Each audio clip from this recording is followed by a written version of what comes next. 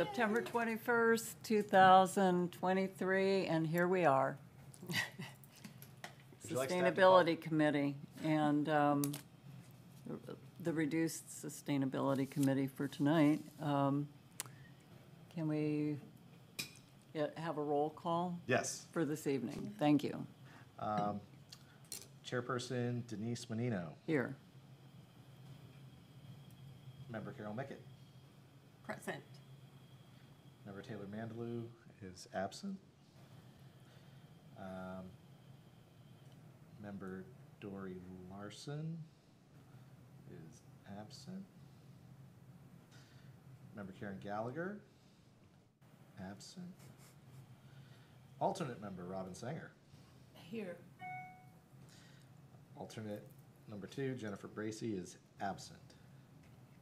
Okay, we have three, that's a quorum. And last month, we did hear from um, Dory that she was not going to be here tonight, so could we have a motion to excuse her absence for this evening? I move to excuse Dory Larson tonight from the meeting. I second it. Thank you. All in favor?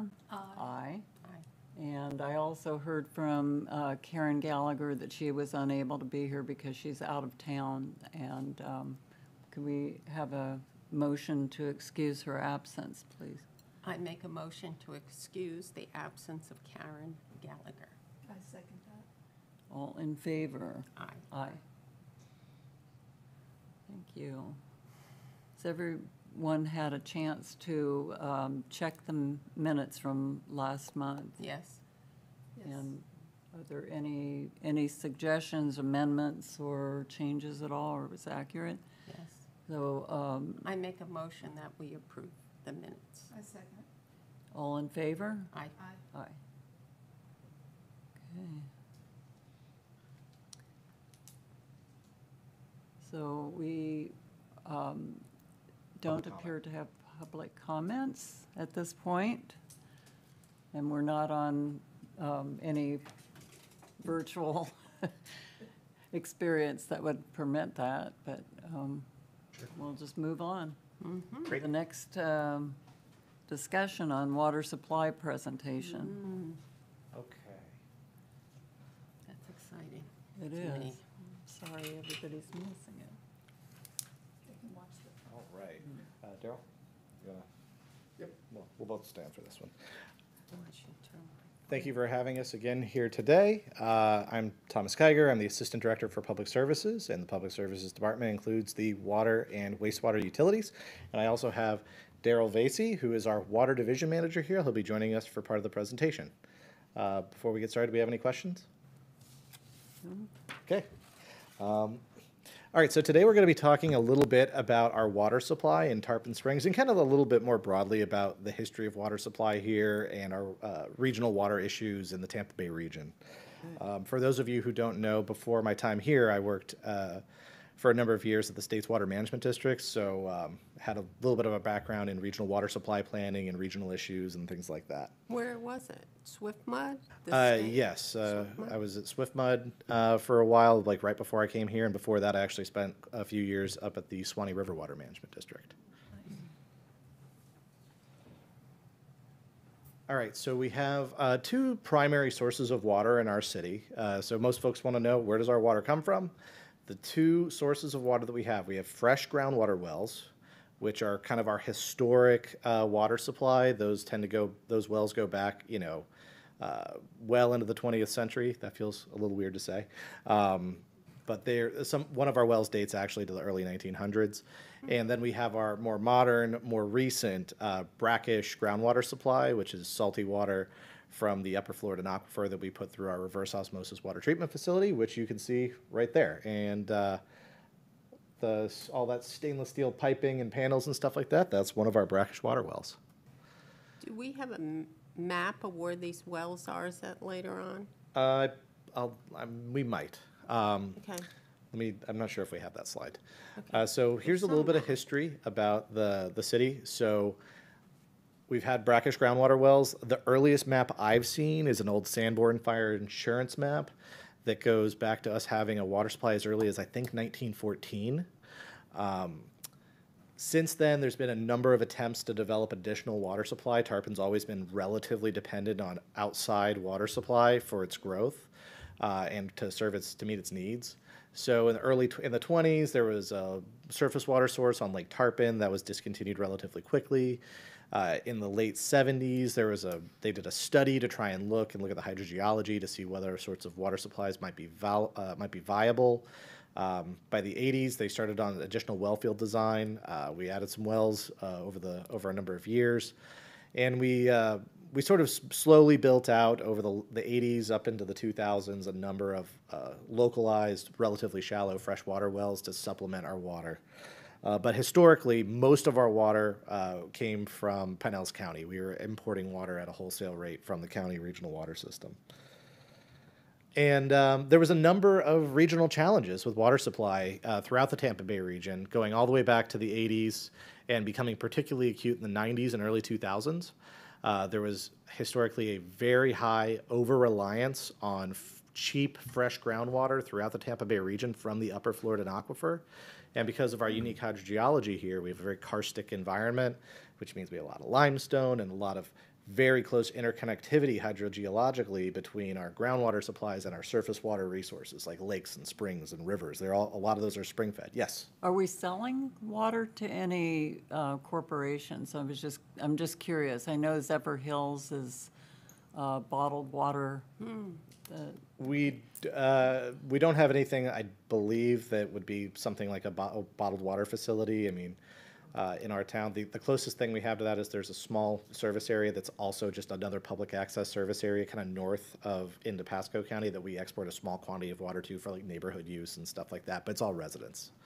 Uh, so we we do have one wholesale customer, but they're a small local utility run by a semi-public state agent agency called FGUA. Uh, Yeah, I guess I'm thinking more regionally because the water in the Florida aquifer is, you know, um, doesn't have borders. no, So, I mean, and, and, and anybody that's buying it would be depleting um, the resource for even our community. I'm just, I, I'm just curious how- if we know. You of mean corp- Tarpon corp- Springs specifically? Yeah, or- well, no, not Tarpon Springs specifically, but um, throughout the state, do you know of um, sources, uh, corporations that might be buying water that might be uh, creating depletion? Because this has happened in other places in the world.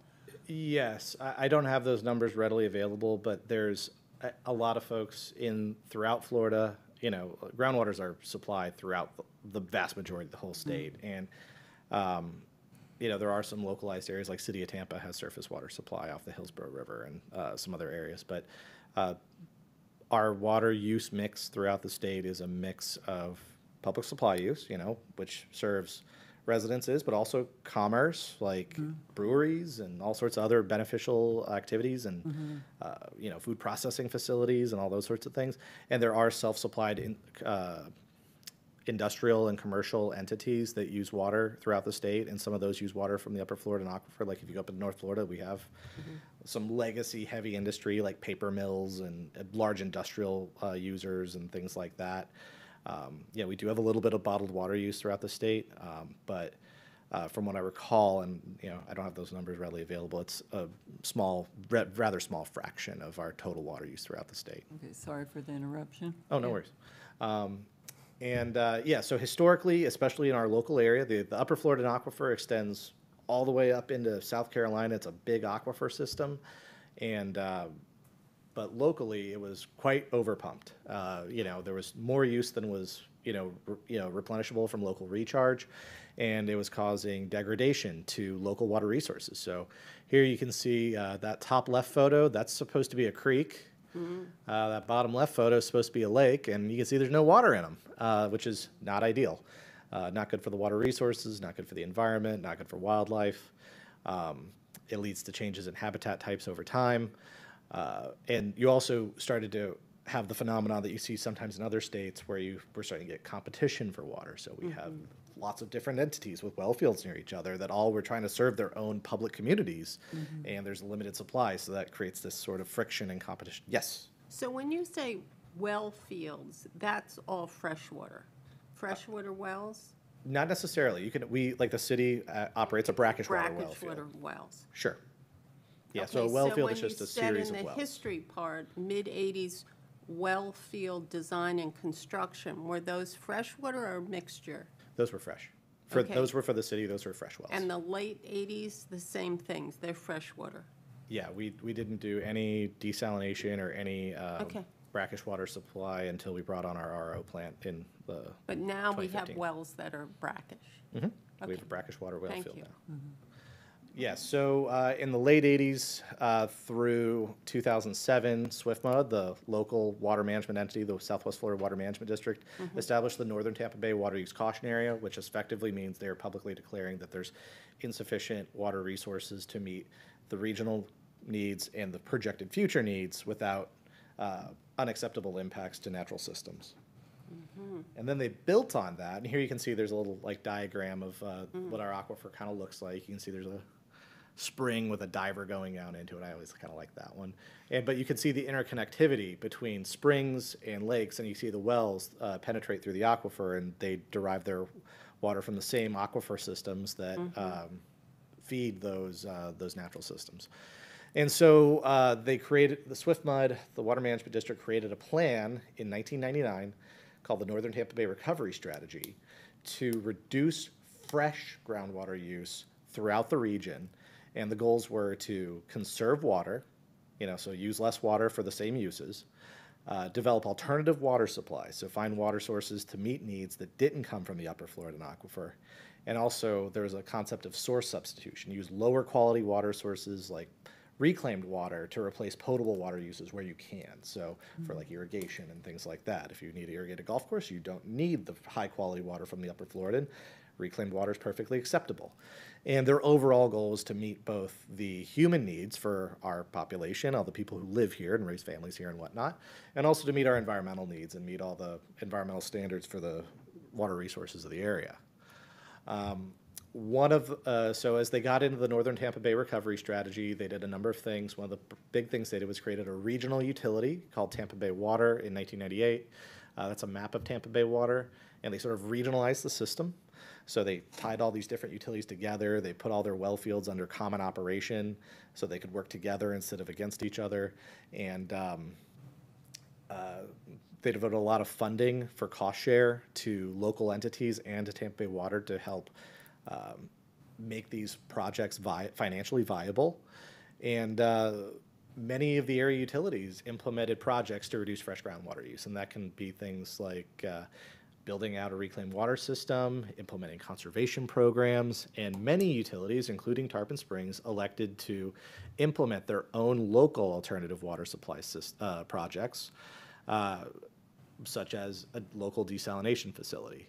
So utilities that, had, that implemented projects like that include us here in Tarpon Springs. Oldsmar uh, implemented a desalination uh, brackish groundwater facility. Dunedin has one as well. Uh, Clearwater has one that supplies a portion of their water needs. And uh, even Tampa Bay Water has a mix of water supplies. They have some water from the old well fields. They have some water from a big regional surface water plant. They've got a big reservoir to supplement that surface water supply, and they've got a uh, seawater scale uh, uh, desalination reverse osmosis facility that's all tied in the regional system.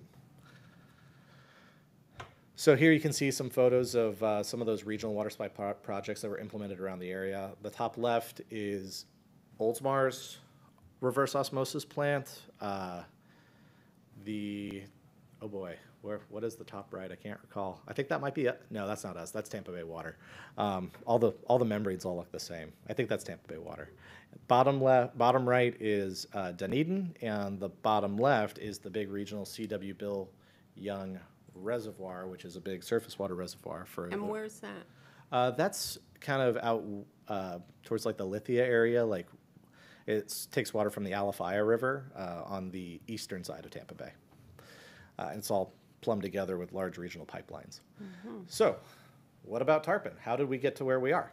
So, we started planning for a, a new water plant in the early 2000s. Uh, we started working with the regional entity, the Water Management District, on cooperative funding to help build the plant. It would have been a very large financial lift for the city by itself. Um, How much did it cost? Uh, That's a great question. I want to say it was pretty, I think the initial cost estimate early on was like $38 million. I think it came in a little bit closer to 50 all in, but we got 50/50 cost share from the Water Management District, which is great. I mean, in the big scheme of things, that's not very much for what we get, is it? No, it was, it was a very good deal, and it was right before a lot of construction being very expensive. So we got a, a very good value for that, for the amount of water treatment capacity that we have. Um, Great question. And yeah, and we implemented this project as a design-build project, which meant we kind of worked with a contractor and an- and a group of engineers together to try and find ways to be efficient and build it over, together over time. And the project came al- came online in mid-2015. Oh, So So- it took 15 years to build, from conception to, Roughly, yeah. Yeah. That's, that's, that's pretty typical. Yeah. um, Especially with the financing and stuff like that, the uh, permits, a lot of testing, a lot of hydrogeology. Um, A rule of thumb we used to use at the Water Management District was it takes uh, about seven to fifteen years to implement a regional project. So that's uh, for water supply. So that's, that's pretty standard. Um, So here's how our water supply used to look. Let's see if this works. So we would take whatever we could out of our local freshwater wells, and then we would use water imported from Pinellas County, which was tied in with that big regional system to fill up the, the balance. Um, and we were using about 3 million gallons a day. And here's what we're doing today. This is pretty cool. I did not make this slide. Um, we're still taking some of our water from our legacy freshwater wells because that's you know a little bit more affordable. It doesn't require as much treatment, and uh, we use the reverse osmosis facility to fill in the balance that used to be supplied by the county. And we're actually our overall water use is down a little bit, so we're down to about 2.8 uh, million gallons a day and why average. is our water use down? Conservation. Okay. So reclaim water use, all sorts of stuff like that? We have more, we have more customers, we have um, higher population, uh, but the conservation efforts, people being more efficient with their water use over time. Uh, Part of that has to do with our rate structure. We have a conservation rate structure that creates an economic incentive for water conservation. If you use more water, you get charged for like the last thousand gallons than for the first thousand gallons. Uh, So very strong economic driver to conserve. And also, we've built out our reclaim water system to help s- offset some of those potable water needs to reduce the burden on our fresh water supplies. Um, So yeah, that's our kind of water supply mix right now. And now we'll have Daryl Vacy come and talk to you a little bit about the reverse osmosis plant. Okay. Thank you, Tommy. Okay, so you can see from the, I I love the graphics, you can see, uh, we're, pu- let's start at the uh, bottom left. We're pulling brackish water out of the aquifer. It uh, goes through a series of pipelines, it ties all the different wells, fields together, and it ends up at the RO plant. Uh, first step, kind of the top left there, we, we put it through a series of uh, cartridge filters, which remove, you get with, with uh, wells you're pulling out of the ground, you get sand, you get fine particulates. You don't want that to get into the membranes. The membranes are uh, very fine. Uh, you really don't want anything to foul or contaminate them. This replacement's costly. So we do some filtering. We feed. Uh, we have the feed water. You'll you'll notice there in, in this graphic it says 4.2 million gallons a day. Um, so you're pumping a lot of raw water into the uh, into the membranes, and you'll see there's two streams that come out of that. So when you go through reverse osmosis, you get pure water coming out. That's the majority of it, the, the 3.1 million gallons a day on the right. Um, but you also get what we call concentrate that comes out of the bottom. That's more of a concentrated brine solution approaching seawater. Um, so that there's there's the the good, the treated water. That's what we're going to continue to process and take out to distribution to the community, and then there's the concentrate. Uh, so kind of complete. Uh, uh, we'll see some pictures in a second of what the membranes look like, but the treated water comes out. Now, when you treat it through reverse, Uh, The briny water go? uh, great question. Uh, so we um, inject it. We have a deep well injection on Dixie Highway. Oh, Um, so it goes down. Now we're pulling uh, typically a, a well for um, for the Florida, Florida aquifer is 100 to 150 feet, and we're down what, about 1,200 feet, 1,500. It- you- it's it's several aquifers down at a at a level that's deemed not to. It w- it won't contaminate the, the, the aquifer that we're pulling from above. So But essentially, it's going back into the groundwater, and it's it's eventually going to make its way back out to seawater. Okay. you know, But it's- it's like seawater, right? Yes, So why can't you just put it in the Gulf? because it'd be very concentrated. Um, Oh, I, it's too yeah. much salt. Yeah, it's it's one of the challenges, as I understand, with yeah, with desalination. You can't just process that and then dump that that discharge. You know, it's going to have a harmful effect on all the uh, aquatic life where you're dumping it. So, Because it has too much salt in it, right? yes, yes. So anyway, we continue to process it. Uh, As I said, when it comes out of the RO process, it's very pure. There's everything has been stripped out of it. It's it's water, and there's no a lot of the chemicals that, that, that we'll have to add some things back into it to make it uh, the right pH, to make it the right hardness level, you know, with calcium and things like that. So uh, it goes through. You see the the degasification process and chlorination, and basically when it comes out of there, it's ready for distribution and we have um, five million gallons of water storage on site. Uh, there's there's a tank within a tank. It's essentially two 2.5 million gallon tanks, but it looks like one big tank. Uh, but it goes into that, and from there we distribute it. And the pumps. Uh, I, I came from up north. You're used to seeing water towers. You don't see a whole lot of that in Florida, right? We're we're pumping out at 60 pounds, uh, 60 psi that's what's going out into distribution and it's feeding the entire community. Um, we're not relying on towers to, to give us the pressure. So as the slide shows distribution, it's taking it uh, out to all of our all of our customers in the city of Tarpon Springs. What creates the pressure if it's not gravity? It's it's the pump the pumps at the plant, and there'll be a picture of it in a couple slides. But yeah, these large horsepower pumps that are basically pressurizing the entire system. So here's a photo uh, on, on the right. Those are what we call the membrane skids or arrays.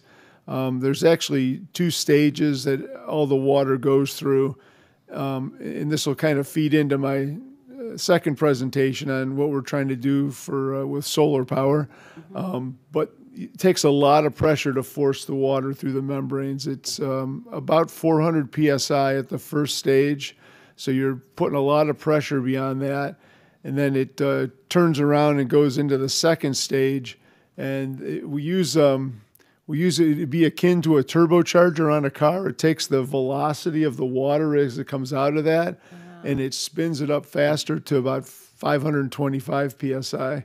Um, Robin? Question? Yes, I have a question. So does the temperature of the water have any impact on the efficacy of the membranes? In other words, the- the- if the water's getting warmer, does that, do does it deteriorate quicker or does it, is, is Yeah, it, no- what temp, does it have to go through a cooling process before it goes to the membranes? No, and, and you have, don't forget most of this is coming from groundwater, well down. So it's it's actually if you were to put your hand on a pipe, it's it's cool to the touch. Yeah, it's probably in the fifties. Uh, Cool, thank you. yeah, it's relatively cool. I don't know the answer to the question if if temperature does impact, but it's really a, a non-issue. Sound like it's an issue. Yeah. Yeah, yeah, thank you.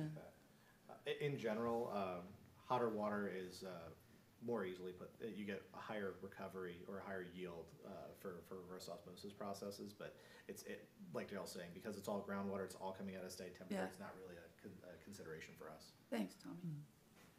Yep. So you'll see the uh, the the membrane skids on the right and the large horsepower pumps that are pumping the water. We have three skids. Um, typically, we're running one to two. So at night is when our water flow is going way down. We'll use that time to build the tanks back up to full capacity. Uh, we like to run just one skid if we as long as we can because it takes less energy. Uh, but when we when we want to build the levels up, we'll we'll run two. Uh, so you always have one in reserve um, in case there's any kind of problems with that. But uh, okay, now the plant is. This doesn't show. I wish we had a great aerial view. Um, that's by the way, Fire Station 71 in the background, our next door neighbors. Uh, um, but we have uh, the, the the plant that is uh, with the with the membrane skids, and then on the backside we'll see the large distribution tank in a second. But on one side is all the acids that we use to treat. There's I won't go into all the chemistry, but you need acids, acids, uh, sulfuric acid we use to process the water. And then on the other side, this side is the basic side, which is after it's um, um, after it's gone through the membranes to to get it to uh, get all the properties uh, where we need it. Um, this is the distribution side. These are the large pumps that pump water out to the city. And there's uh, this is essentially, as I said, this is our this is the distribution side of the plant. So you can you can turn uh, we could turn all the skids off, all the membrane skids off. You can you can run just to distribution. You know, you could fill the tanks up, and then now obviously you couldn't do that very long, but um, you know you, this it's kind of like two facilities within one facility. Yes. Yes. Does the, like reclaimed water has that purple color to it? You can tell what's going through the pipe by the pipe color. Is that blue color for good, is that for fresh water? for Yes, in fact, there's even um, there's even a couple of colors of blue. Uh, after it comes out of the RO process, it's like a light a lighter blue. That's uh, it's it's been processed, but it hasn't been. It's not ready for distribution. And after it's been treated, you get that. bright We we don't do any reclaimed water at this site. That No, no, but I mean around town. you Yeah, see the right, yeah, tanks right. that Have that, that, or the pipes that have that, that purplish yeah, color. the purple, right. Um, so in terms of water quality, we do have a lab on site. Uh, you'll see, uh, well, the, the picture on the left is the lab. The picture on the uh, top right, we we have a lot of these. It, it, you'll, if you walk through the facility, you'll see places where we can pull water samples everywhere. Uh, just an example of one, so you can. poo- But but as far as what we do, we test pH, alkalinity, temperature, conductivity. You know, the oops, one too far.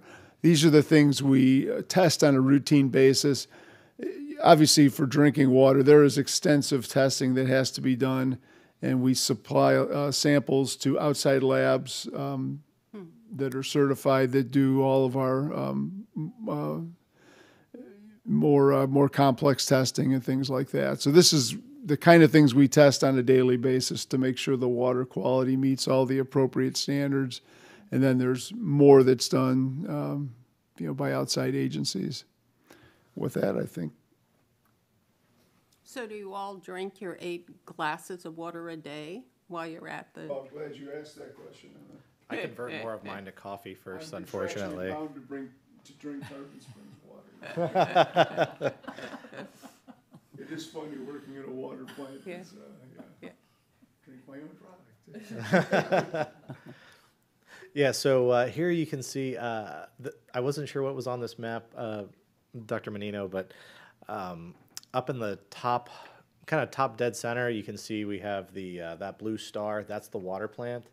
Um, most of the well fields are kind of just gen- for the brackish water facility are kind of northeast of there. They run kind of along you know, L&R Industrial Boulevard, we have some wells and along some existing utility corridors uh, in that area. We've got a couple, those brown and uh, those brown colored lines that you can see there, those are uh, raw water lines. So uh, you can see that's where our raw water comes from.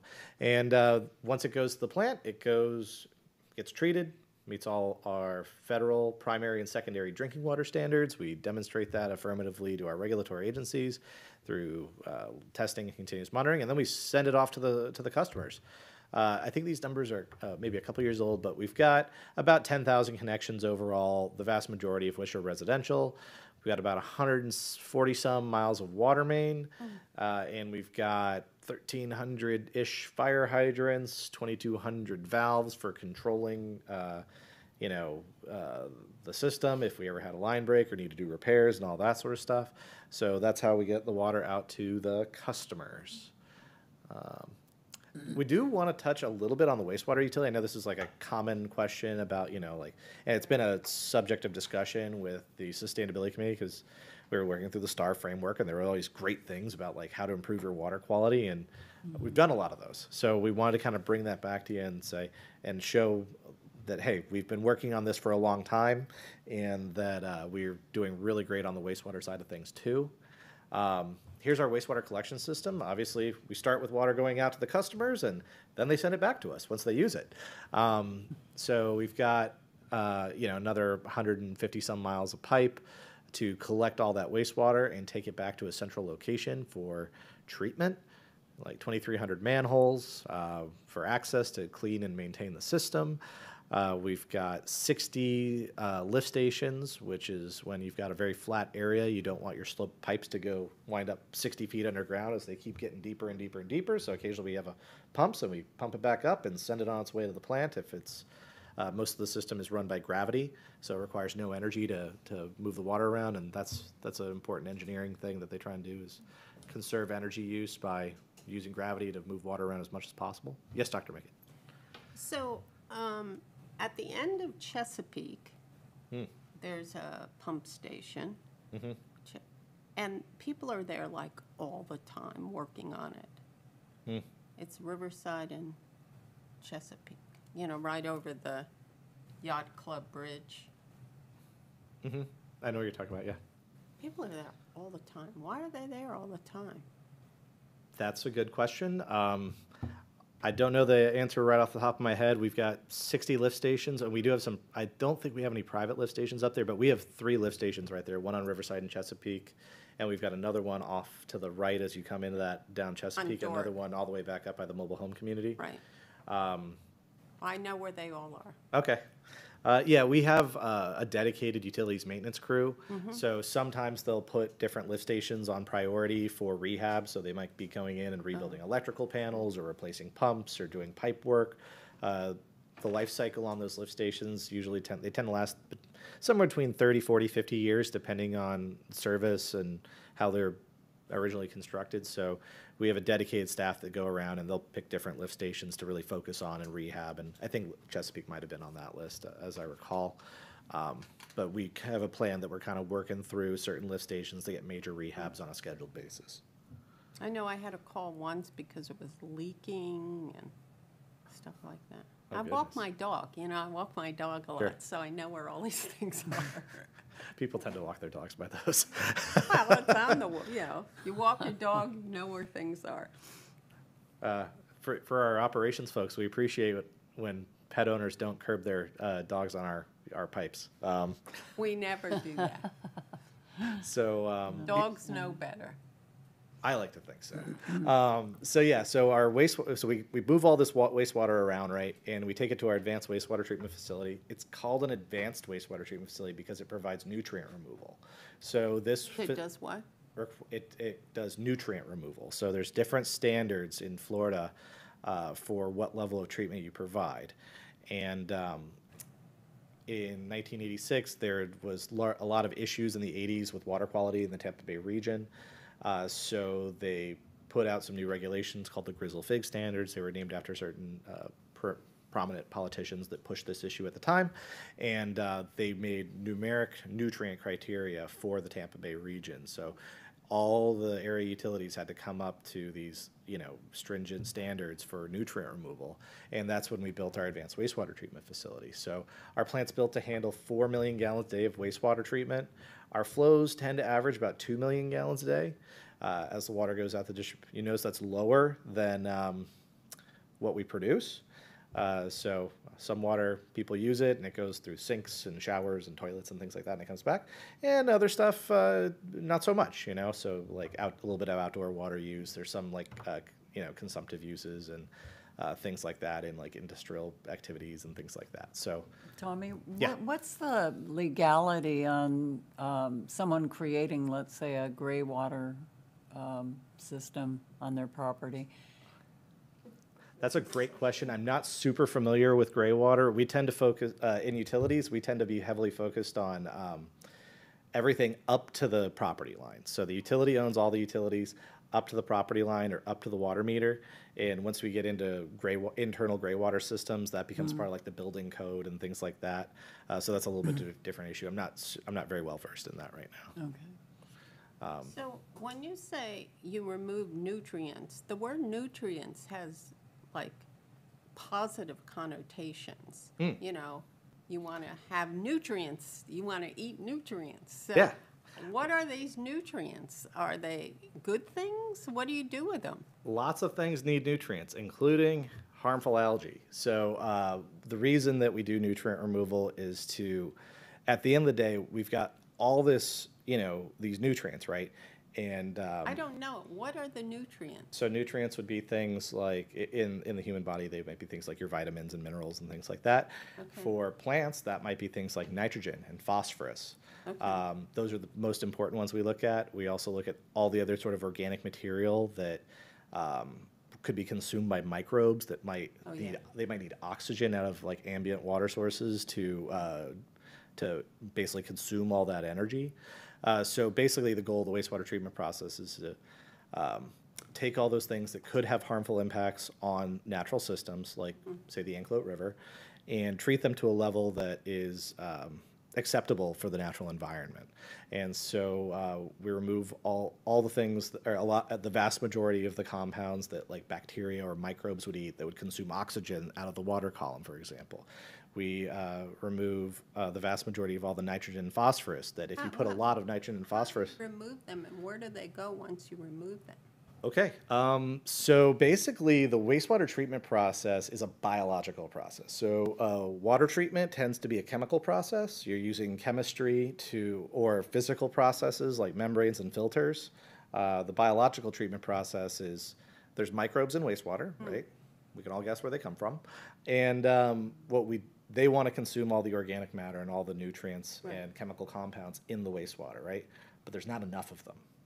So what we do is we basically add some oxygen, use some really smart chemistry and biological principles, and we convert all those chemicals and all those organic uh, sources of energy into biomass. So we have the bugs and we grow them and then we get them used to eat consuming the wastewater compounds, and uh, we take and then we put them into what they call a clarifier. You can see those kind of circular uh, open air tanks in the back there, and then we settle them all down. They become uh, it's not the best term, but they become like a wastewater sludge, and it's just biomass. It's lots and lots and lots of microbes that like to eat the chemical compounds that are in wastewater, and then we take them back to the plant, and they're they've kind of gone to sleep and they've eaten all the food and they're all hungry and we send them back to the front of the plant where there's lots and lots and lots of food for them to eat and we give them as much oxygen as they need to consume all those uh, organic compounds. So we're basically taking all this chemical energy and organic compounds and nitrogen and phosphorus and turning it into microbe bodies. And then we take all the water off the top through the clarifier system, Yeah. send that off uh, to get disinfected and filtered and turned into reclaimed water. And then we take all the biomass and we concentrate it, take all the rest of the water out, and um, that becomes biosolids. Uh, you might have heard of that, and that goes for beneficial reuse in agricultural pr- uh, practices. Oh, really? Yeah, so yeah, it So gets human waste gets used yeah, after into agriculture? I didn't know that. yeah, yeah. So what we- happens to all of the pharmaceuticals that are in people's waste? And how does that all get processed They at your don't, they plant? don't go away, unfortunately. They unfortunately. don't. Well, some some organic compounds are broken down. We're, we don't do a lot of like super stringent testing on a weekly, on a daily or monthly basis for like those types of compounds. Um, but we do do a screening uh, once a year for all the different uh, primary and secondary drinking water standards uh, to make sure that we're not doing anything that's like harmful for the environment and stuff like that. And these bugs that eat the stuff, Mm-hmm. are they like visible bugs or are they microscopic? bugs? Microscopic typically. Oh, okay. You, you can see them in, in aggregate, like, yeah, they'll clump together and form little like brown floaty specks that are floating around. Kind of like, uh, if you ever had, a, has, has anyone here ever had a fish tank? Yeah. Yeah, and you have your little filter. That's Mm-hmm. doing the same thing. So on your filter, you get all that little brown slimy stuff growing on there, and that's similar to the wastewater process. Those those uh, things that grow on your filter are converting all the ammonia from your fish tank into other compounds, Mm-hmm. and uh, we're doing the same thing. But instead of using a physical media where the bugs are growing on a filter, we've got them suspended in the water, and they're going around inside the water column eating all the different chemicals. Good analogy, the fish tank. Thank you. That's very good. Like Pac-Man. It's, it is very much like Pac-Man. We actually do once a week look at them under a microscope and see what types of bugs are in there. And there's certain types of bugs that you want. And if you know you get too much of like the wrong kind of bugs, you go and adjust the process. And yeah, so they we do look at that. Um, yeah, and Fascinating. yeah, it's pretty cool. Um, and the good news is, is we have a five-stage biological remove, uh, removal process. We use microbiology to do all this treatment, and for these uh, compounds that would be harmful to the natural environment. And um, the goal is that when we do need to discharge water out to the Anclote River, when we have a little bit too much and we don't have enough reclaimed water customers to use it, uh, that we're being protective of the natural environment. And in most cases, the water that we discharge to the Anclote River is uh, lower in nutrients uh, than the water that's in the river where we're discharging into. So we're actually, you know, it's not like we're doing, you know, the river a favor, but we're definitely not having negative impacts uh, in a meaningful way. But the river in the Anclote is brackish, isn't it? Yes. Um, So, which brings us to our reclaimed water system. So we're, we, one of our parts of uh, becoming more sustainable, dealing with our water resources issues as part of the region, uh, the Water Management District had a goal for regionally to, for everyone to get to seventy-five percent reuse of their treated wastewater. And uh, we're, we tend to hover around eighty depending on the climate for the year. Uh, So we're reusing eighty percent of our reclaimed water. Um, and uh, we've, over time, built out a very extensive reclaimed water system. Uh, you can see here, those all those purple lines are where we have re, uh, reclaimed water service. Uh, we've got about eighteen hundred customers right now. Uh, and our average customer uses, as a resident, uses about five hundred gallons a day. And we've also got several storage tanks to help store up the water when we have it and to maximize our use. And we've got about thirty miles of water mains. Yes? Okay, so on Chesapeake, where I live, Uh-huh. you can see, it's that little peninsula, right? There's no reclaimed water. And the city just put grass in, right, in that little park towards the mobile home thing in the back, Where is it? right here. This is Chesapeake, Okay, this little peninsula. okay. And so um, they irrigate it all the time. So they must be using potable water because I think it's t- probably too shallow at that end to have a well. Most likely. So they're using, the city just put in that grass unnecessarily and are using potable water to irrigate it. So, uh, you know, doesn't make me happy.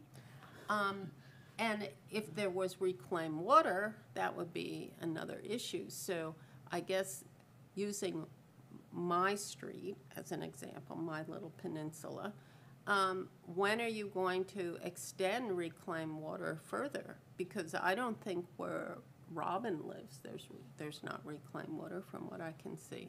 I don't know about you. That's our most common question probably uh, that we get in the wastewater division is when am I going to get reclaimed water at my house? Um, At this point, so there, uh, an important part about reclaimed water is that uh, in any particular municipality, it's generally unlikely that, that all of the, the customers can have reclaimed water, and it's just because of availability. So, uh, if you look at the average, uh, house in Florida, it use, it, it only produces about a third as much wastewater as it needs to supply its irrigation needs.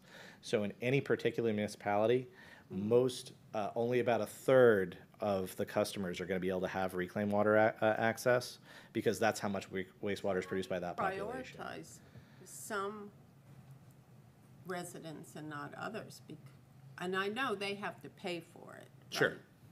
That was done, uh, I- it, it was a, whi- that was well before my tenure here, but there was, we had a reclaimed water master plan that we co-funded with the Water Management District. And the goal of the master plan is to identify, you know, how can we maximize the utilization of reclaimed water, uh, in a cost-effective way. And so the goal was to, you know, most utilities make the decision to try and hook up, if there's a handful of like large volume water users that you can only spend a limited amount of capital dollars, uh, they tend to hook up folks that have the most impact first. So like things like golf courses, city ball fields, city park space, cemeteries, things like that. And all, all of those in our cities have uh, reclaimed water. Uh, you know, the golf course has reclaimed water, the cemetery uses reclaimed water, the ball fields use reclaimed water. And then as you build out those pipelines, to those large users, you're able to provide reclaimed water along those corridors. So uh, we, we had a master plan, we built out the master plan. The master plan is complete, we've done it. And uh, we kind of have our system now. And unfortunately, that's what I was getting to with this uh, slide, because this is a very common question, is, you know, what, we're at eighty percent reuse, everyone feels like that's, a lot of folks feel like that there's another 20% that's sort of hanging out that we could use. But you can see here, this is from 2020, and um, we're 80% reuse over the course of the year, but we have a large change uh, seasonally as we go month to month. So you can see when we get into March, April, May, we have almost no water going out to the Anclote. And in many, and in some cases in recent years since then, we've gone weeks and weeks and weeks in a row where every single drop that we produce goes in the tank and is consumed by our customers for an extended period of time to where we're having to do reclaimed outage days uh, to help to manage our supply because we physically don't have enough water coming in the plant to meet all our existing customers.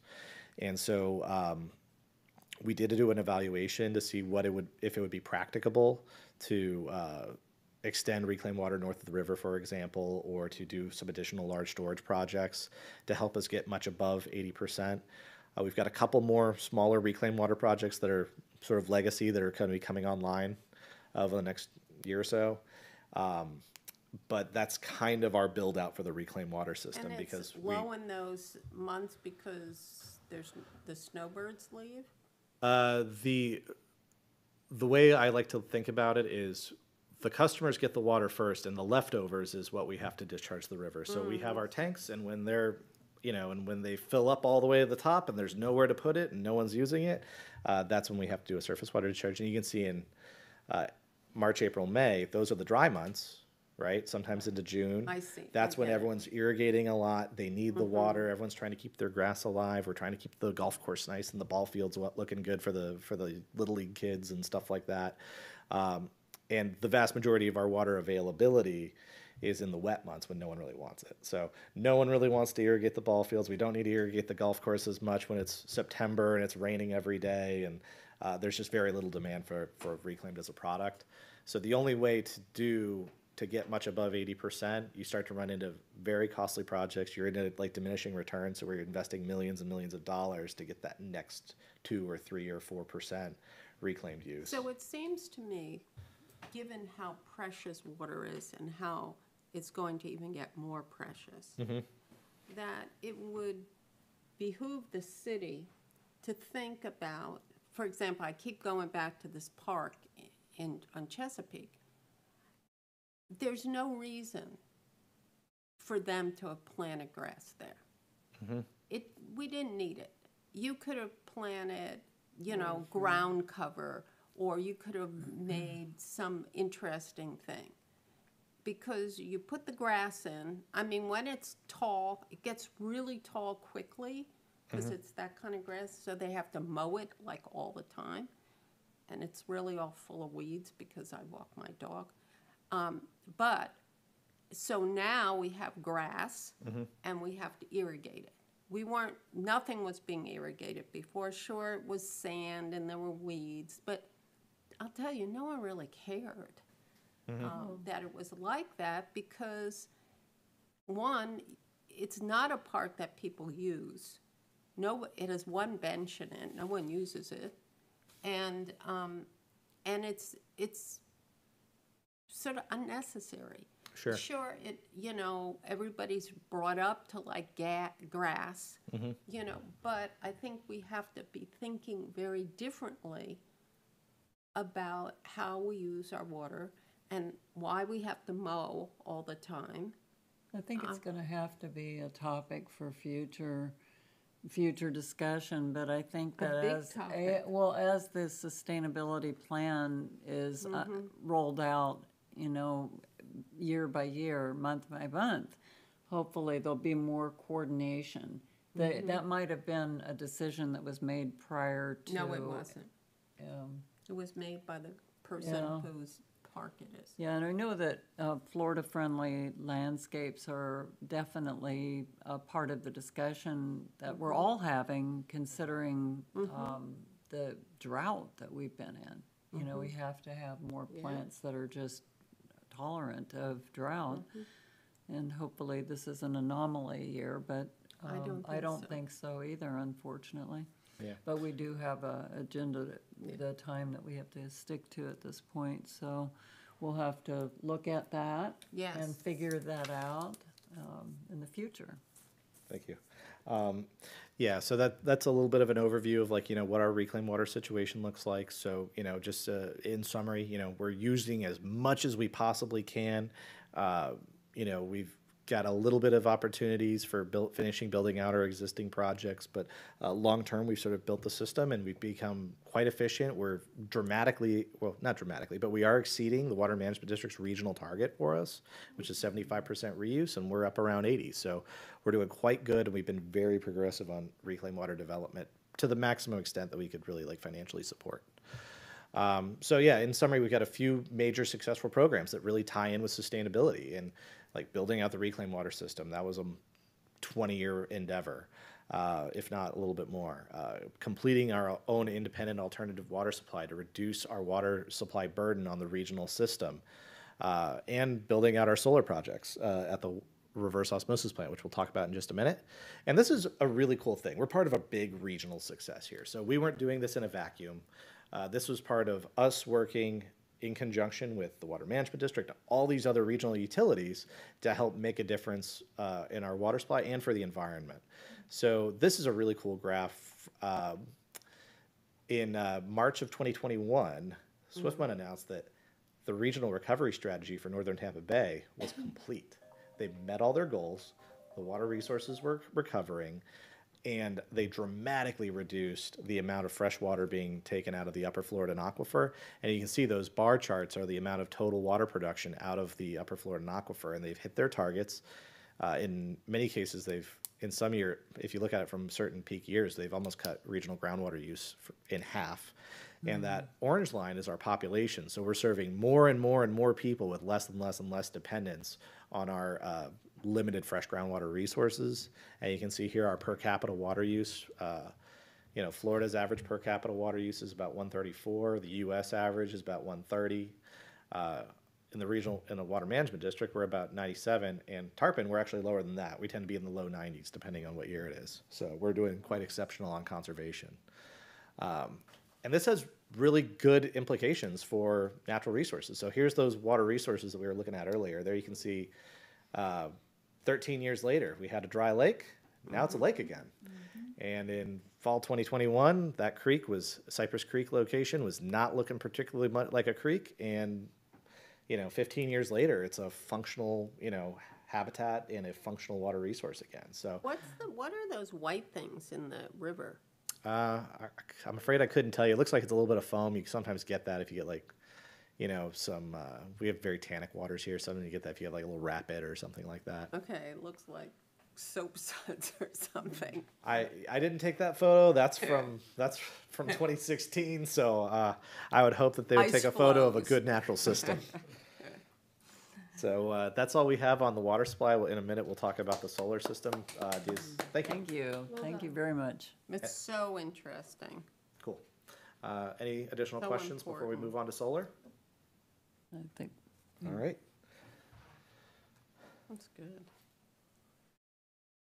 Okay. All right, and here's uh, Daryl Vossi again to talk about our RO plant's uh, solar generation system.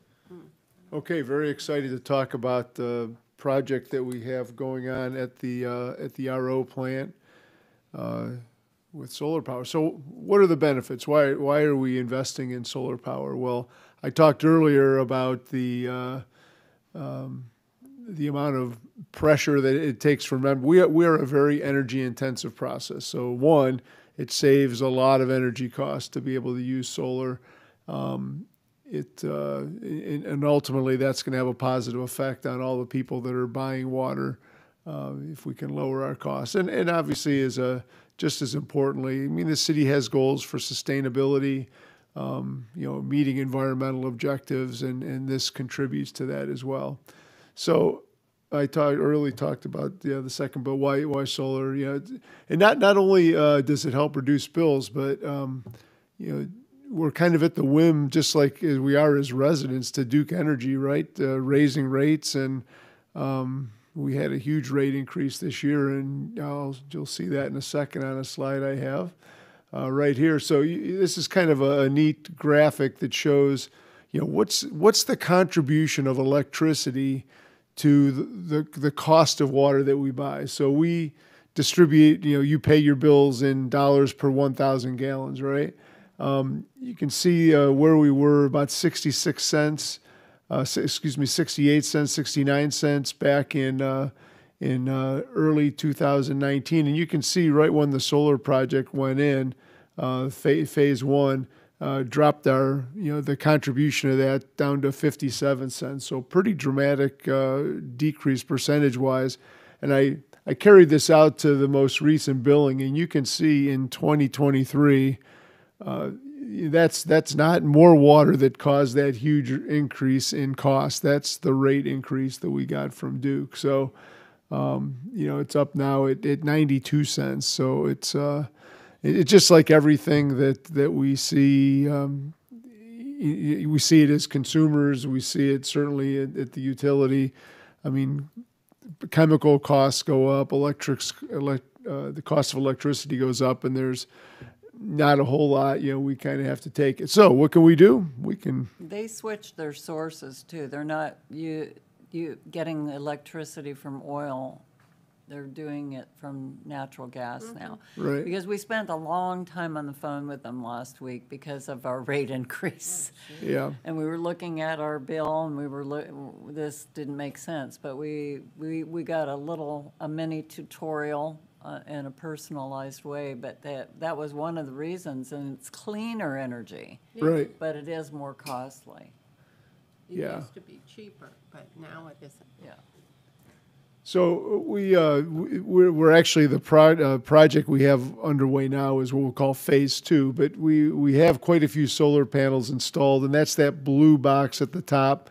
That's what we'll call phase one. That consists of 416 solar panels. They're all 390 watt modules. So each panel, and they're I don't have an exact. They're probably three foot by five foot as a typical module, and they they put out uh, 390 watts. So the whole system has 120 watt, uh, 120 kilowatt capacity. Now we talk. It actually makes energy in DC and it converts it to AC. So I'm just going to talk AC because that's what we we use um, as a consumer. So 120 kilowatt system. Phase two is all the things you see in green. So um, L&R on the very left of that picture is L&R Industrial Parkway. There's a, going to be an array of, of panels right out at the road. Uh, and then the rest, you'll see one at the top right. Uh, there's, there's like a, a, a small area. We're, we, we are basically taking every square foot we can and putting solar on there. You'll see that um, th- there's a couple at the at the um, at the bottom right. That'd be the um, that'd be the uh, southeast corner of the property. There's a couple panels there, right in the in that thing that separates them. There's a well right in the middle of that. That's one of the wells where we're pulling brackish water. That green space to the left of that is like a wetlands area. It's the it's the it's the um, you know retention pond for for uh, um, for stormwater. So that's kind of an untouchable area, and obviously we're right up against the fire station there. So How many kilowatts does the RO plant use per day? Oh, I pulled all this all this data. Um, I, I don't I don't have a number off the top. I don't have a good number. I can get back. I can get that number. I'm number. just curious, you know, So so this solar the the even so I didn't finish phase two. It's 663 panels, and you'll notice that the modules now it is solar is uh, the technology is improving. We've gone from 390 watt modules now they're up to 450. That will continue to grow. You know, as as time goes on, so you know they'll be more and more efficient for the same size module. Uh, and so this will give us 235 kilowatts. So we're producing right now. The solar phase one produces what would you say, Tommy? Less than less than 10 percent of our total power. We we did a quick uh, assessment on this. Um, we found that you know obviously depending on what time you're using power and things like that, um, there are certain times during the day if we're not producing you know through the skids like we can approach you know almost all of the daytime electrical consumption, but we also tend to produce a lot of our water at night because electricity is cheaper and we're trying to keep costs down, and so. Uh, all in, we're th- we we estimate that depending on the year and like climate conditions, whatnot, that the Uh, first phase is producing four or five percent of our total energy demands for the RO plant, and the um, when we implement phase two, it'll be uh, somewhere in that 13, 14, 15 percent range. Yeah, so not a direct answer to your question, uh, but, but you get a what feel, we're, we're using a, yeah, we're, we're, yeah, be, be, be- To have a lot of solar panels to, f- to completely, yes. do Yeah, that. we're not, we have to tie, we're tied into the grid, but Right. we're not sending anything to the grid. It's all being consumed. Mm-hmm. Yes. Yes, I, I'm curious, and probably you might get asked this a lot as well. Why are there no solar panels on any of those rooftops? Is it a different type of solar panel for industrial, or is it? That's a great question. So we, we've talked about, you know, what's phase three, because we have the ability to, to add more. Uh, they've talked about on top of that, that large round tank is the water distribution tank, but that tank is very special and I, there's not a lot of appetite to mount anything up there. The risk is just too high. So now you get into the building and, you know, we really need to take, you know, it really wasn't designed for solar panels, the weight of it.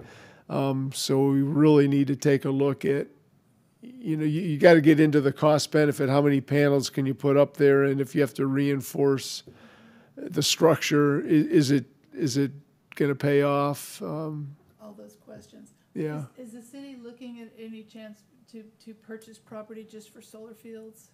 You know, I don't know. adjacent to there or nearby or? Uh, we, we haven't um, done any evaluations that I'm aware of as far as like tr- property acquisition solely for solar.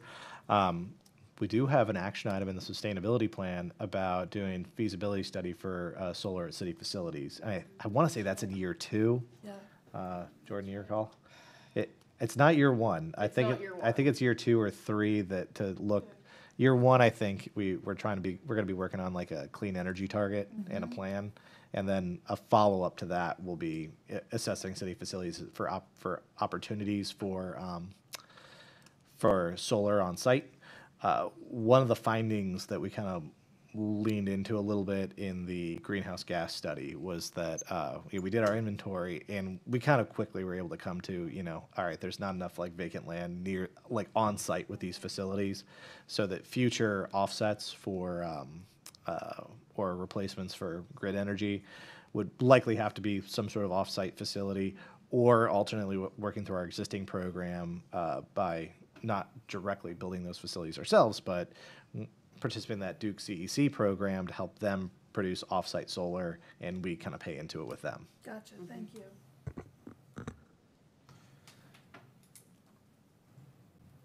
Okay, um, so we, we, um, are currently building out phase two of our, uh, solar project, the, the, the areas I showed you on the, uh, on the previous slide. So right now they're putting the, the columns, or they call it pile driving. They've, uh, they, st- I, I wrote this last week, so it started this week, actually started last week.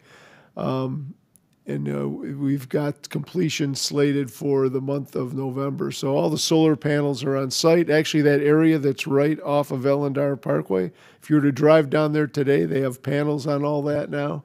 Um, now it's not it's not wired up, so don't get too excited, you know. But uh, Well, we're just we just drove by on Friday and they were um they had the the piles driven or whatever. Yep, and- yep. And it was yeah, so they've got those panels up. So uh, yeah, we're we're it, it, they've had a crew out there. They're bringing a second crew. They said late this week. I, my guess is it'll be early next week. So we'll really accelerate uh, the project along. who's putting it in? Uh, we have a company, um, Advanced Roofing is their formal name. Doing they're doing Advanced Green Technologies (AGT). Um, they're out of Fort Lauderdale. Um, you know they've they uh, done a nice job. So the the picture at the bottom is just the panel uh, that's in our lobby. So when you walk in, you see how are we doing today on solar, and I. happened to snap this. I should. I thought later. After, I had to get the slides in last week, but I thought I should have snapped the photo when it was at 120 kilowatt output. You know that would have been. But I just took it and. Uh, but there's uh, but there's a neat little thing you can see on the right side. It says how many pounds of CO2. So there's all sorts of little things you touch at the bottom, and it'll tell you um, you know, what impact, how many gallons of gas did you save, or how many, you know, barrels of oil or whatever. So, um, but,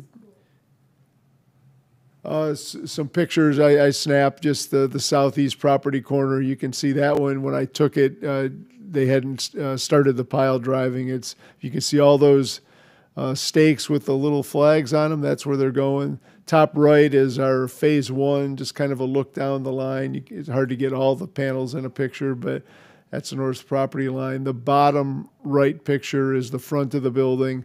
Like I said, that's uh, shows just the uh, uh, the piles in there, and, and they started. They were just starting to spread the you know the cloth to prevent weeds from coming up. And um, yeah, today it's all that that cloth's all covered with stone, and there's all panels on there now. It looks really cool. And then we have a small set at the northeast uh, corner of the property. That's the bottom left picture. That's that's uh, going in front of the uh, of the current panels. So, kind of exciting. Very exciting. All right. Well, Thank you so much. Yeah. yeah. Terrific. Right. There's a lot to celebrate. Yeah. I think that we're on track with um, quite a, quite a few sustainability projects already, even, even before the committee came together, you know, so this is wonderful news. And we really appreciate um, the explanation. I think next to trees, water is, is one of the most exciting topics, and it's vital. that We get a look lot of at it. questions about that, That for we sure. keep looking at it, and we keep looking at conservation efforts. Um, Now for a very exciting part of this evening's meeting. Um, I'm going to ask for, we have a sustainability coordinator to celebrate. And we would love to get a little background, so Tommy is going to introduce Jordan. Yeah, so it's my very distinct pleasure to introduce uh, Ms. Jordan Wilcox. She's going to be our new sustainability coordinator. Uh, as we talked last meeting, we were very close to making a hire. She was selected out of over 50 applicants on a nationwide search. Uh, she comes to us via she's she's local right here uh, in in um, uh, Pas- just up the road in Pasco County, and she comes to us via Colorado, and before that, uh, the city of Cincinnati. And uh, we're very excited to have her. Yay, yay. Awesome. Hi. So I just want to take this time. I'm sh- I don't know if you guys have any questions or anything like that. Um, most of my experience, I graduated from the University of Cincinnati um, with a degree um, mostly focusing on environmental policy, actually. Um, that was a goal to maybe pursue environmental law, actually, environmental justice. Um, and I didn't want to go to school for another six years. I really wanted to get out there, um, and I was I was I was a little burnt out at that point, but um, d- had a great internship with the stormwater management utility um, with the city of Cincinnati. They actually uh, created a full time position for me um, after my internship. So I literally graduated like December seventh, and that next that next week I started full time. Um, and it was a it was a great experience. Um, stormwater management was under the Waterworks umbrella, so different um, challenges for sure up in Ohio versus what we're dealing with and seeing here. Um, but obviously, water we, no one survives without you know excellent excellent water. So. Um, and even there, it's probably going to become an issue in not not the not too distant future. Um, and then um, after I I left about January of 2022, moved out to Colorado for about a year. Um, Where in Colorado? I was on the Front Range, so um, you're kind of right out, when you have 25 going up the Front Range of the Rockies. You have uh, you have the the prairies, you know, Right. to the east, and the west you have the Rockies, and it's just the recreation is amazing. The conservation programs out there are just like unimaginable. Um, the public land access uh, it's it's it's earth shattering to come from the Midwest and and go out there and and experience that. So that was um, personally very incredible for me. And then um, moved here to be closer to family. My family's mostly down in Bradenton, um, and my parents are here, a cousin, and my grandparents are snowbirds. So I have a, a good bit of my family down here too. So uh, I decided to stay and uh, have loved the decision ever since, especially since uh, coming onto this position. This is kind of the we talked in the interview about it a lot, actually, the interviews about it a lot, but something like this for um, an environmental student, this is what you go in for. Like this is seeing the difference that you make in your local community. I mean, this is this is the purpose of it, you know, like this is where you see all of your hard work culminating and the way you can serve your community and you see that you know reclaimed water has made such a huge impact and it's part of the the success that you guys are seeing now and you guys have done ama- an amazing job with the um, sustainable sustainability plan and Robin has done an amazing job up to this point, and I am an action oriented person, so I am ready to kind of take this and run with it and have an amazing, you know, group of us ready to go. So, and really get get off to a good start. So, Do you have any specific goals that, special goals to you that you? We gave her a long list of goals. I do have I do have a long list of goals. I have a couple of um, I personal ideas that I would really love to see um, come to fruition um, that are related to the to the plan, but not necessarily super directly. So I would love to to talk with you all about those and at some point and you know get to get to going with those Can you because tell us one or two? I don't I I don't know. I'm this is my I've never had a committee that is live streamed and then available to the public, so I don't know. That's fine. You Okay. Can, you can talk about things that might be important to you for a sustainability uh, initiative. Yeah. Okay. Um I um I love I love that the facility is even available. I don't know if it's even feasible, but the um the ability to better utilize our um maybe our yard waste facility. Um, and so I, I, I, we drove by it and I was like, and then I found out it was 55 acres and, you know, and obviously we don't need that much space, but, um, it seems like we are missing, you know, and it's on the system production energy production, uh, composting facility. We were out today for. I mean, the ideas are just churning to make that make that work better for us. But we were out today actually learning about living shorelines out at um, Philippe Park, and just they, you know, um, they use bags of oyster shells, and those are reclaimed, which is amazing. Um, and they basically like they're just turned regularly and left out in the sun and that's all that you need to like cure them if you will um, and then they're rebuilding shorelines with that and it's just um, could we do that a program like that at our facility and utilize we're so close to the coast you know that's going to be a huge uh, like option to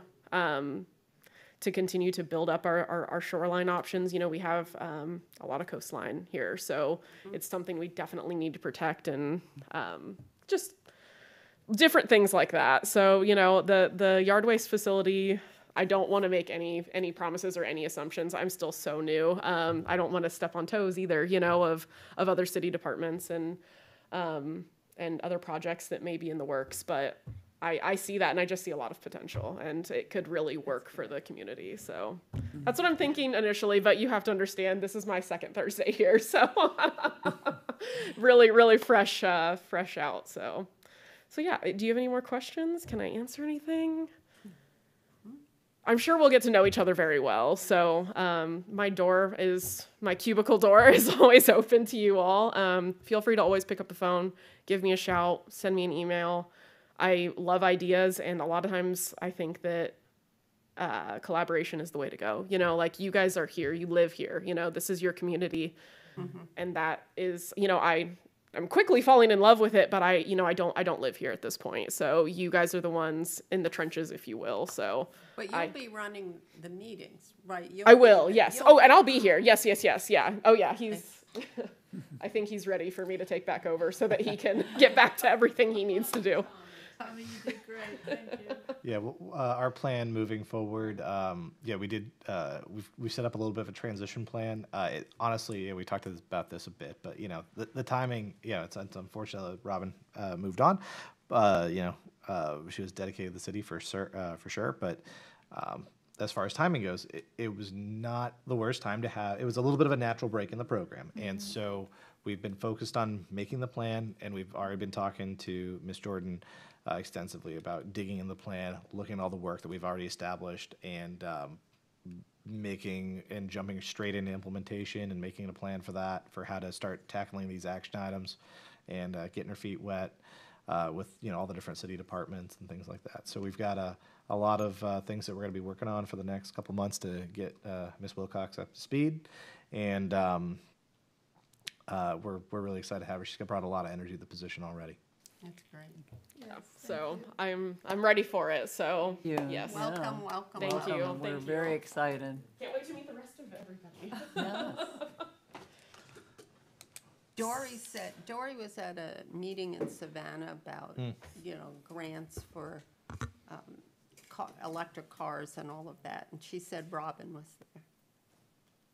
Mm-hmm. Oh, Robin, uh, Robin Reeves was there. Robin Oh, Reeves. Rob, oh, Robin's at the same conference. Oh, that's Oh, that's great. funny. Yeah, mm-hmm. It's a small world. it is. That is a small world. Okay, we're at items for the next meeting's agenda. Any thoughts on that? One thing that's been kind of burning within me f- since we finished the plan is really trying to figure out the best way of introducing um, the public to um, the sustainability plan and public engagement in general. I mean, the city can be doing everything it can to be sustainable, but I feel that unless we start to evolve the thought of everyday citizens as to what each of us can do in our small world to connect with the larger um, group of people who are conscious about the environment, conscious about sustainability, conscious about conservation. You know, all of the, all of the factors that are within our control. If we, if we can figure that piece out, I think that we'll be, you know, ahead of the game. I agree. I had a, and this is, this is, I don't even think I've mentioned this to Tommy either, but I had a, I, I've kind of been tracking a little bit that with that locally just to, to update people about what we're doing, you know, like this was, the, the sustainable plan was, st- sustainability plan was an endeavor, you know, I mean, it's, you know, almost a hundred page document detailing what we hope to do. And so I was wondering if there's not a good like engagement session if we need to have like um I, I'm really in the brainstorming bit here, but just like a public engagement session, like biannually, uh, like just to update everybody, but make it fun, make it interesting, maybe even make it like um, you know, just just something that they come to, and they're it's not just a, a meeting or it's not just like a town hall presentation, but something they can engage in with an activity of some sort.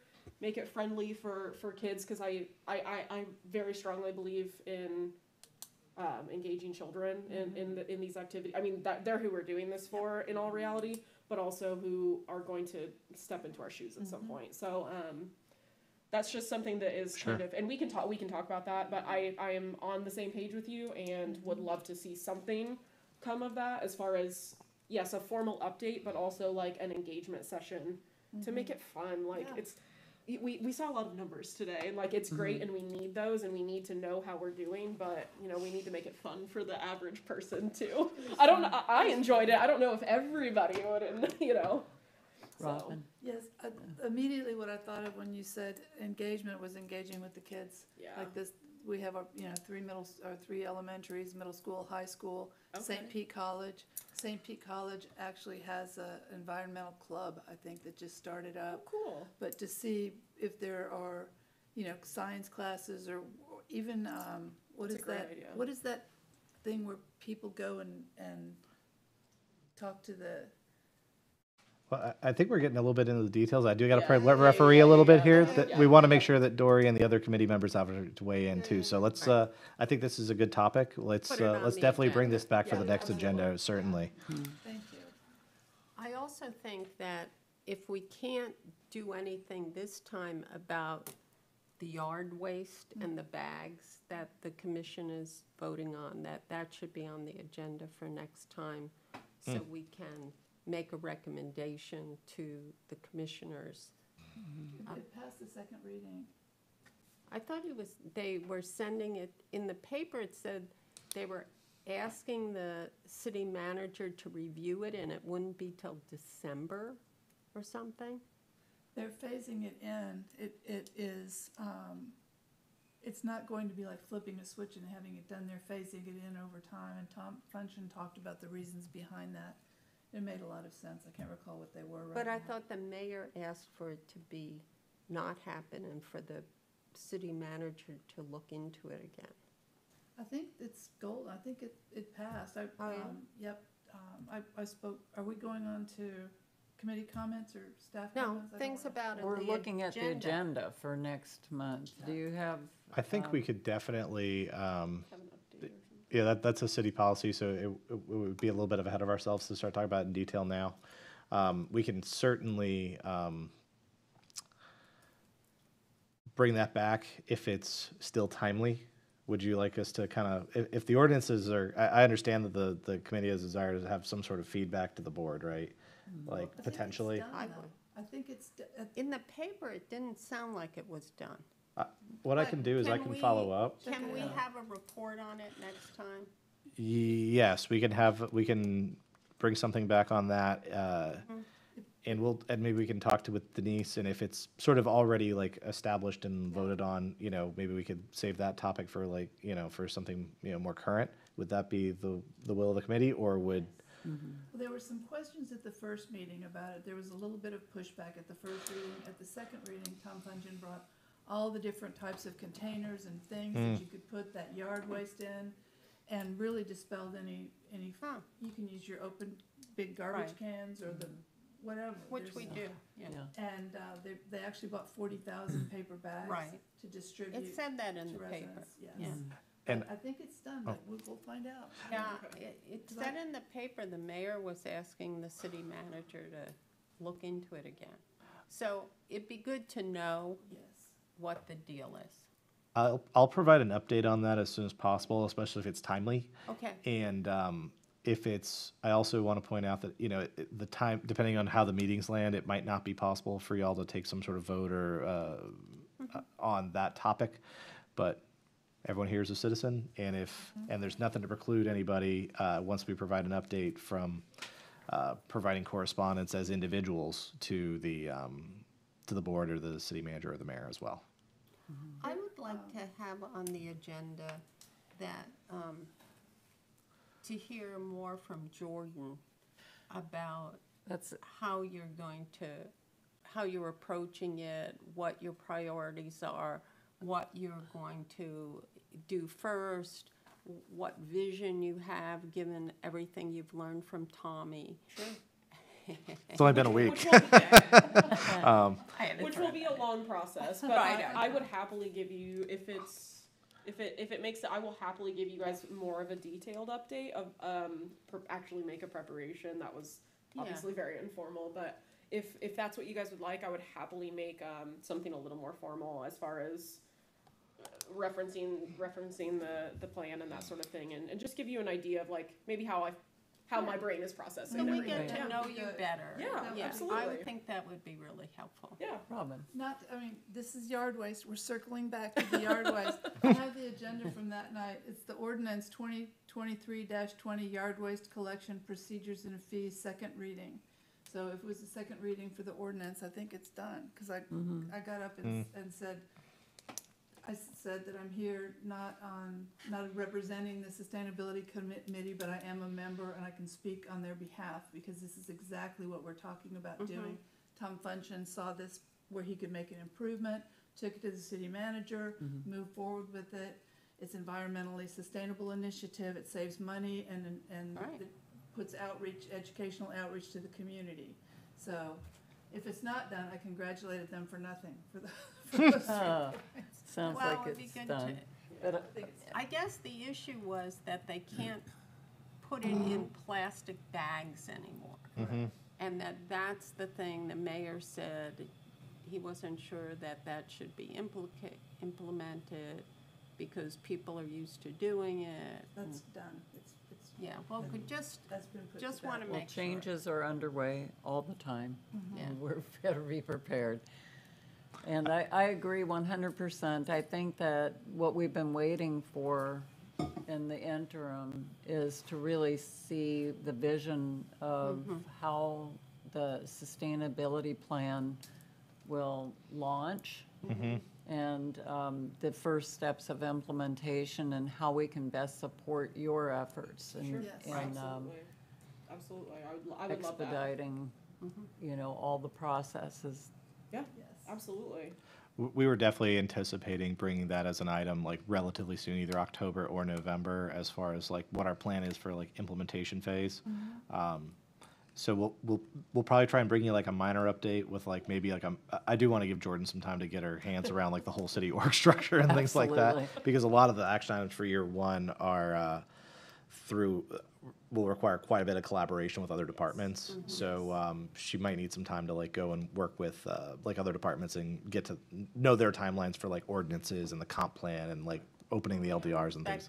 the Okay. whole story in October. Sure. We just want the, the beginning, first chapter. What I see, Yeah. like what I see and how I see a path forward. Yes. I, I yes, I can. I, I have no problem doing that. So Okay. I, I don't feel that that's That's Um, good. too soon or anything. Yes, and knowing that that's gonna be evolving as you learn and get Yes. connected with different departments and all that, that Yes. whole thing is kind of moving Yes.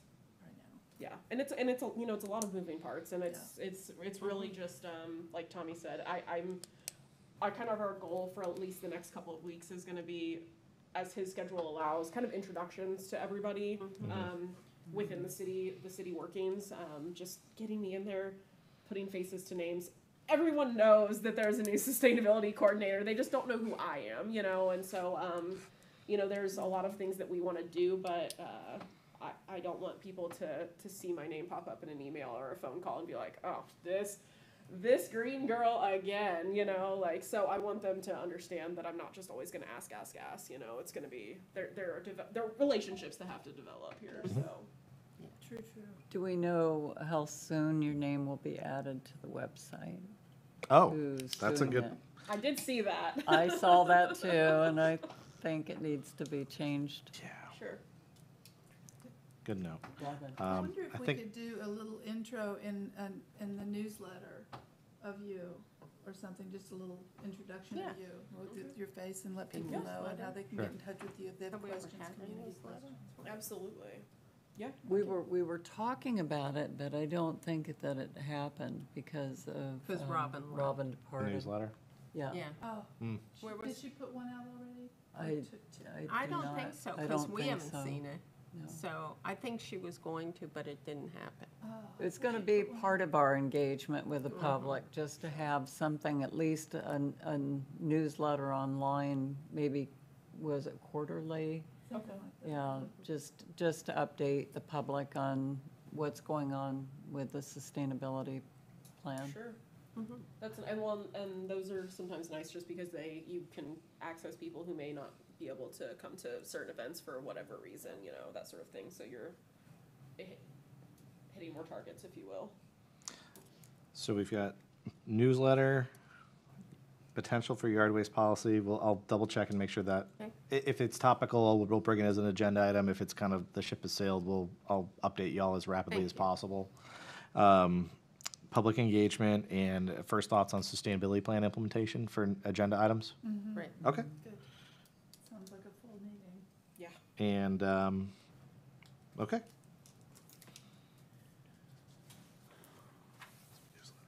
Okay, are there any staff comments?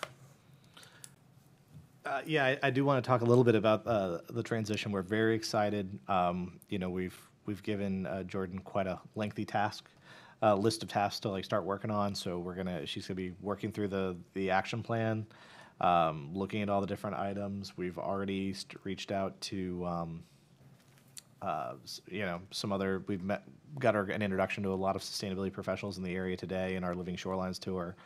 Um, she's going to be working through a lot of the other regional documents to get a grasp on like what's going on regionally and start uh, getting herself involved in some of the, uh, you know, like Pinellas County sustainability networks and some of the regional sustainability networks. And uh, we're very excited and, um, yeah, she's doing great. And uh, the other thing we did want to share is we had a great trip to Philippe Park today uh, to got to do a living shoreline tour. Uh, it was a very cool project. Uh, they did some interesting pilots uh, with uh, different types of um, oyster beds and things like that. And uh, they had some cool lessons learned, and we took some good knowledge away from that on you know how to implement li- living shoreline projects as like a kind of a first cut, what their kind of lessons learned were, and funding opportunities and things like that. So it was a very positive experience.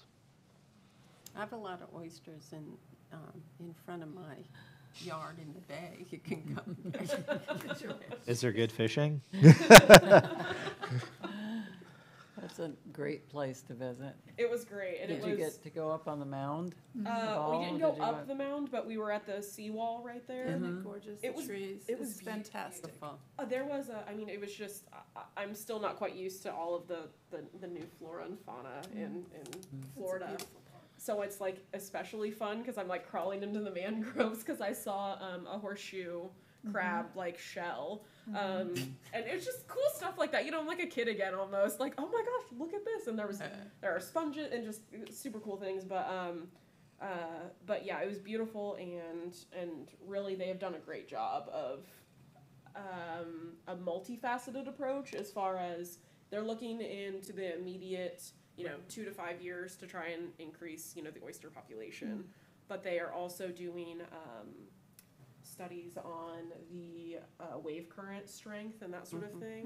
So just really just uh, it's it's all tied in and it's all applicable, but it, there's some long term data that we, everyone in the area will be able to utilize and, and that sort of thing. Lots so. of people come out and mm. work on that. Yeah, mm. yeah. They had a. They said they had a really great voter turnout. Lots of people. I think Dr. Robinson Yeah, was he, part of that. our he's done that co-chair. many times. Okay. Was Who used to be it. on our Okay, committee. cool. Yeah. That's awesome. I mean, it sounded like a great day. It sounded like the like you know there was a lot of, of loading of the oyster bags, but then Right. Yeah. a lot of you know ferrying them out on little like dock platforms, and what a nice way to spend the day. There's this whole production line. Yeah. I've been there when they've done that. I was there for another reason. It's so it. cool though. It's yeah, very I mean, cool. It's it's nice to see the community come together for Mhm. those things. And yeah. we could do that here. absolutely, absolutely, Engagement. absolutely. Is that, That's all I have for staff comments. Yeah. um, any, um, I do. committee comments? I, I wasn't going to, but given what we talked about today, um, you know, I'm, Robert and I are having a show um, called Circle of Water at Florida Wildlife Corridor. It opens on October 14th, runs through January 13th, I believe. And um, one of the things, the sort of centerpiece in it, because there's this 60-foot wall and it's, what, 13 feet high. So we're doing a 12-foot high, 10-foot wide, but it'll continue on, map of Florida, where the only thing depicted is all the water. And there's so much water, and it's, we're d- hand done.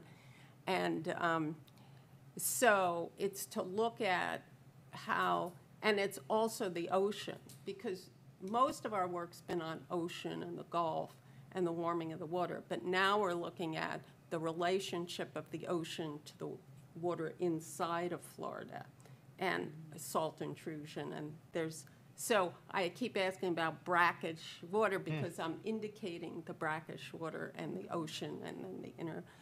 But um, I'm also going to have Al Hine, who is emeritus from the Marine College, who's written books about the geography of Florida and the water. And he and I will have a conversation, we'll have two parts, and all about this issue of the aquifer and um, salt intrusion and what to do and intrusion wells and, and so that's very exciting. Um, so, and then there's other stuff, stuff about all the ways to mitigate and absorbing CO2 that will be in the show. And it's all connected with Florida Wildlife Corridor, which is all about protecting Florida and making sure that all the animals have ways to migrate and get fed and contribute to, um, to the, the state. And. um, Where's the show gonna be? uh, Florida Wildlife Corridor's new um, offices are in the factory in St. Pete, which is part of the um, Art Warehouse District. It's where Fairgrounds is, and, And they are opening a gallery, so they've built a gallery. We'll be the in- in- inaugural show for that. And it's a beautiful gallery. And they have um, Noelle Smith, who just retired from Contemporary Art Museum. She's the curator. So it's, um, so, I mean, it all fits into what we're talking about with the water. But I never realized till I, m- making this map, how much water's in Florida, how much swamp. And, you know, without the swamps, and there, are s- there are carbon sinks and, you know, they're just everywhere. And it's so interesting, because we just came back, I'm chatting a bit, Wait, from Just one moment, Chair. Oklahoma. Should we, um, move to extend our meeting? We're at seven thirty, isn't that when we're supposed to end? eight. Oh, eight, perfect. Go ahead, carry So on. Chat, coming chat. back from Oklahoma in the airplane, now, the only thing I see is water. I, I, you know, I never looked at water before in this way. But it's so interesting to not look at land Yes. And just look at water. Well, thank you, that's exciting. I It think Florida has um, the most springs any- of anywhere in the world. It does. It's so, it's like, Incredible. just so much, I mean, some of these panels, they're just all blue. There's no like, where's the land? It's fascinating. Thank Robin? you. Yes, I just, I, I have a curiosity about, uh, the other alternate. And I'm just wondering if we, if she's not checking in or watching these virtually or whatever, um, if we sh- shouldn't put her back in circulation or suggest that, maybe see if the commission can bring in someone who might be interested, who could be present. Uh, Paul uh, and I were working on that today. Um, we've got a plan. We're going to be discussing that with the city clerk uh, probably tomorrow, maybe Monday. All so, right, but that's thanks. that's definitely in the works. Good, good, good. Right. And um, I'm sure anybody that reads the Beacon might have noticed there was a um, guest um, editorial, Climate Victory, a lesson for Florida, and it was about the um, power of the state um, ultimately residing with the people and a decision that happened in Montana that, that represented the youth, you know, to right. have a right. You know, it goes back to um, something that Miss Wilcox was mentioning, you know, regarding uh, policy. You know, there's, there are courses in protecting the rights of Mother Nature. Yes. And um, this was really a fantastic um, decision, you know, because they had an amendment in 1972 to the Montana um, Constitution, and that was in violation of the young people's right to have a future mm-hmm. of clean air and clean water. And, I mean, I don't have my glasses on right now, and I don't know where I've put them, so I can't give you more details on it. But it was from two mm-hmm. papers ago, I think, and it was, it was was excellent. big It was very, national news. very encouraging that I, I mm-hmm. feel um, a lot of our young people, if we could, if we could engage them, they're gonna get on board and we're gonna see a whole, ge- a new generation of, um, really people, young people that are really protecting the planet for future generations. And they will have, they have a reason to. I mean, they're looking around and they're being affected every day by the things that they're seeing, you know, the, by the changes in the climate. Mm-hmm. We've seen them in the 10 years that we've lived here in Florida, just dramatic changes. So I'm mm-hmm. sure that they're, you know, everyone is taking notice now. Uh-huh. I was at International Mall and I, w- and I was buying something. And the young woman who checked me out, she looked at me and said, "You're an artist, aren't you?" I said, "Yes." And she said, and she said, "Well, what do you do?" And I said, "Well, I make art about climate change." And she said, "I'm into climate change. I want to know all mm-hmm. about it. I want to go to that show. I'm going." And I was like, "Wow." You know, just what you're great. saying. Yes. You know, young people are really taking note of that because, I mean, it's scary. But they're ignited and, and I think mm-hmm. with a decision like that, Yes. we're gonna see more and more involvement. And more lawsuits by young mm-hmm. people. Well, and it sets a precedent. I It mean, certainly that's does. huge in the world of law. You know, I mean, you're mm-hmm. talking about Right? people actually being able to put into tangible court cases victories. You know, like this is. I mean, it's gonna. It's it's it's less of an uphill climb now. This Yes, is. it This created a step versus a, just a mm-hmm. slippery slope to slide down. You know, it was a mm-hmm. step up. So It really for was. sure. Mm-hmm. Absolutely. Oh, ah, we're So at, maybe uh, if we can get a new person, maybe we could get a young person. Not that I'm not young, but um, hmm. maybe we could get a, you know, someone in college um, who would like to be on our committee or in high school, so that they can be the people who step in to take over. I think we'll Sure. Yeah, I, I would also point out, I mean, obviously y'all have been pretty good at, uh, self-recruiting to the committee.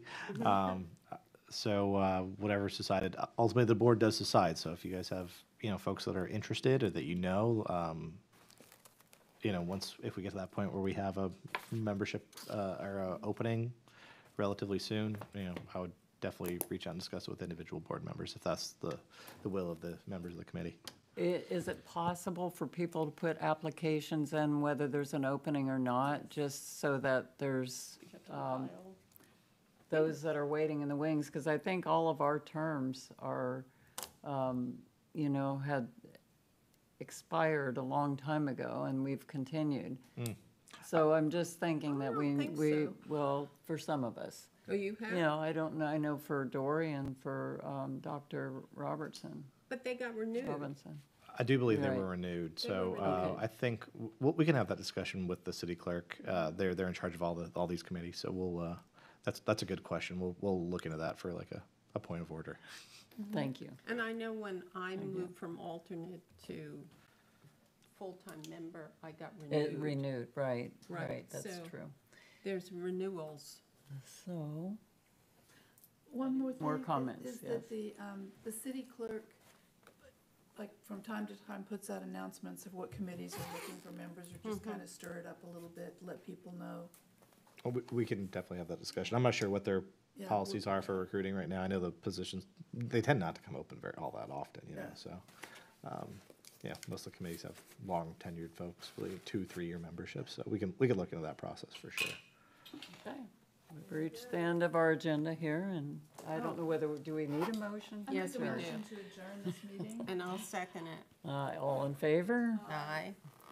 Thank you very much for being here. We sustain the sustainability. And, and uh, uh, you know, we end at eight, not seven thirty.